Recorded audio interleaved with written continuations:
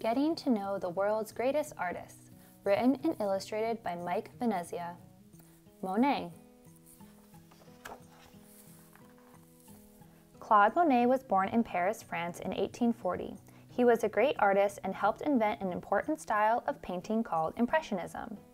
This is a portrait of Monet painting in a garden. It was done by his friend Pierre Auguste Renoir, and the painting lives in the Wadsworth Atheneum Museum in Hartford, Connecticut. Many of Monet's paintings are pictures of water.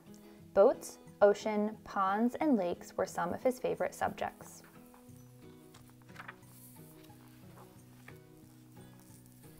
Claude Monet loved the way colors reflect in water and the special way that water makes the clouds and sky look. Monet even fixed up a boat as a floating studio. He kept paints, brushes, canvas, and drawing supplies on it. Monet sailed up and down rivers and streams, stopping to paint wherever he liked. It must have been fun. When Claude Monet was little, his family moved from Paris to the town of Le Havre, which was right on the sea. At Le Havre, ships from all over the world stopped to pick up supplies for their long journeys. Monet's father owned a grocery store that sold supplies to the sailors and shipping companies. Claude must have seen a lot of very interesting people while he was growing up. We want 50 sacks of flour, 4,000 feet of rope, a bunch of swords, 18 gallons of rum, and 10 dozen lollipops.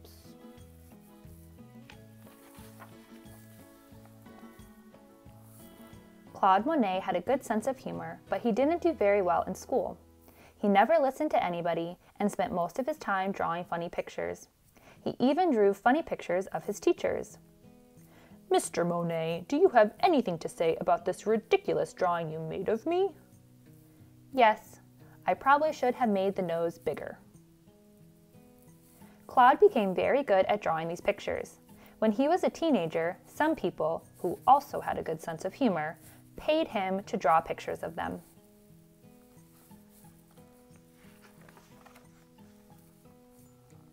Claude liked making money by selling his drawings.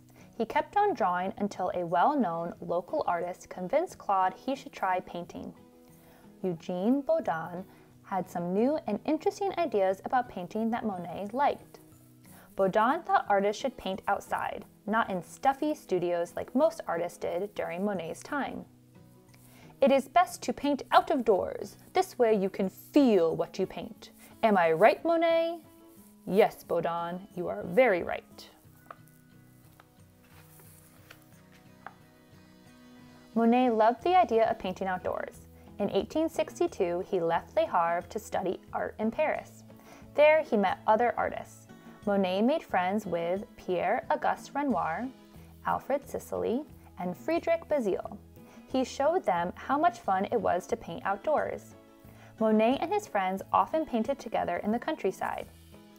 After the invention of oil paint in tubes, it was easier for artists to carry their supplies around and paint outside. Before that, artists had to mix their own paint in jars with colored powder and oil. It was a messy job.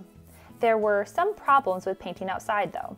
Sometimes sand and other things stuck to the wet paint. Must have been pretty windy today, huh Dad? You could say that.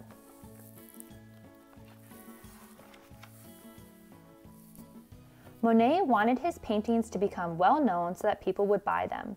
Almost the only way he could do this was by having his paintings shown at the Great Salon in Paris. The Salon was a place where people came from all over the world to see what the best artists were doing. It wasn't easy to get a painting into the Salon. The few judges picked only the paintings they liked. Monet entered his paintings often. Sometimes they were accepted and sometimes they weren't. Women in the Garden was one of Monet's paintings that didn't make it. Monet used his favorite model for all four women in this painting. Her name was Camille. Claude Monet and Camille fell in love and got married a few years after this painting was finished. Monet often used Camille and their children as models. This is a painting of Camille and their first son, Jean. The Great Salon wasn't paying much attention to Monet and his friends, so they decided to have their own show. They wanted people to see how exciting their colorful outdoor paintings were. But the show didn't work out very well. I hate these paintings. I'd like to throw them all out the window. Me too. This is just a bunch of trees. This painting doesn't even look finished. I can't even tell what this is. Monet, how can we stop this from happening at our next show? Easy. Don't have a next show.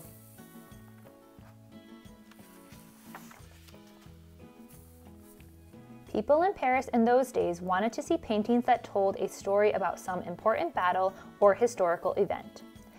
They were used to the paintings where everything looked clear and sharp, and they liked dark, moody colors, like the colors in the painting above. Monet and his friends were more interested in how pretty something looked when the sunlight was on it. They liked to paint ordinary things, like a boat on a lake, or rocks by the ocean, or even haystacks in a field. A newspaperman called these artists Impressionists. He got the name from Monet's painting, Impression Sunrise.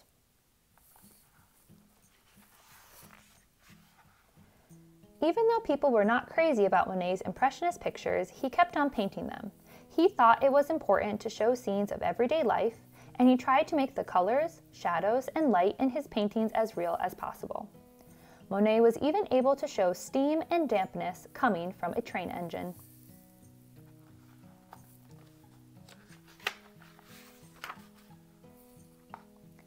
If you take a very close look at some of Monet's paintings, you can hardly tell what he painted. It just looks like a bunch of colorful brushstrokes. But when you step back a little, it all starts to make sense. It's easy to see that the colorful brushstrokes on page 24 are really the two ladies walking along a cliff in the painting above.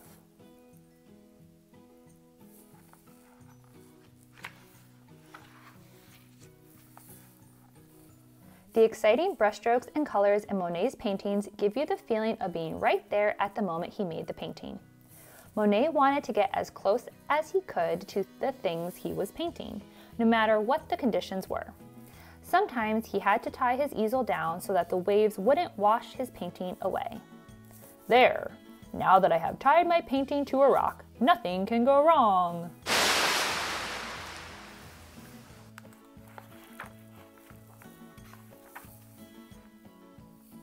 Monet often painted many pictures of the same thing, he wanted to see how sunlight changed the look of something at different times of the day or at different seasons of the year. When Monet was older, people finally started to appreciate his paintings. He settled down in the French town of Giverny and built a wonderful water garden there.